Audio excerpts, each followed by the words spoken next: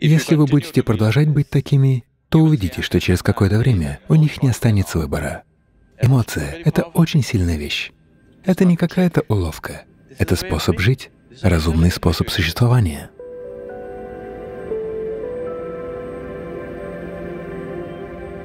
Садгуру, можете ли вы поделиться тем, как развить доброжелательность и управлять своим восприятием? Итак, как развить доброжелательность? Я проводил программу для одной очень крупной международной корпорации. 25 топ-менеджеров. Это было двухдневное мероприятие. Со мной работало 9 волонтеров. Фонд Иша — это полностью волонтерская организация. Все эти девять волонтеров делали все, что нужно для программы, и на второй день один из этих топ-менеджеров спросил меня, «Садгуру, где вы нашли таких людей?» Потому что они всегда ищут кадры. Где вы нашли таких людей? Я ответил, вы не получаете их такими, вы должны сделать их такими. Как же этого добиться? Я сказал, вы должны влюбить их в себя. Но как это сделать? Сначала вам нужно самим полюбить их. Они сказали, нам за это не платят. Вот и все.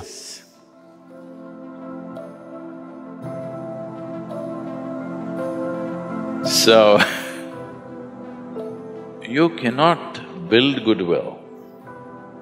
You have to exude goodwill. Итак, вы не можете развить благожелательность. Вы должны излучать ее. Если вы предлагаете ее всем, она возвращается к вам по-разному. Но вы не беспокойтесь о том, придет она к вам или нет. Это должно стать вашей жизнью. Это должно стать самим вашим существованием, что вы естественным образом принимаете каждого. Кто-то ответит, кто-то нет. Это нормально. Это их выбор. Но для вас уже нет выбора.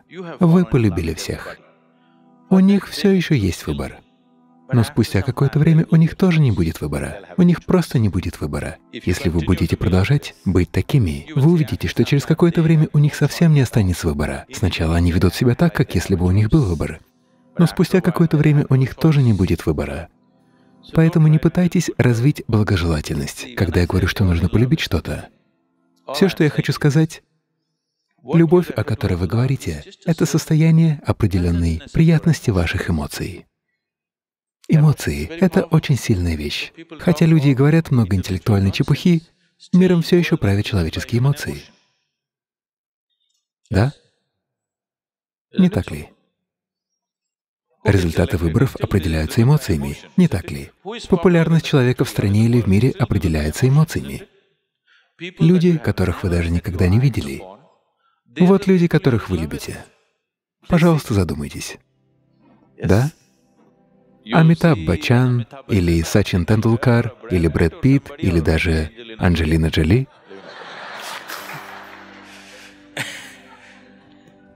Вы любите кого-то, кого никогда не видели, потому что такова природа ваших эмоций.